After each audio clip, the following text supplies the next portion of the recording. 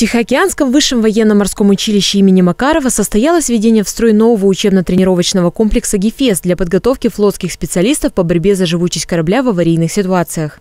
Данный учебно-тренировочный комплекс поставлен нам в рамках э, улучшения учебно-материальной базы нашего училища компанией «Аквасервис» в 2019 году. Сдали его в 2020, соответственно, вот сейчас мы его запустили начинаем апробацию и занятия проводить.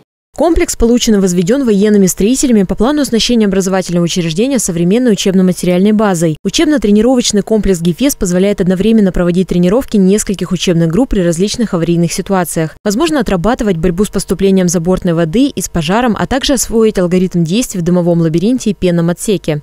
Полигон позволяет нам почувствовать ситуации аварийные и обучает нас действовать в этих ситуациях э, по борьбе с пожаром, с водой и в других э, ситуациях.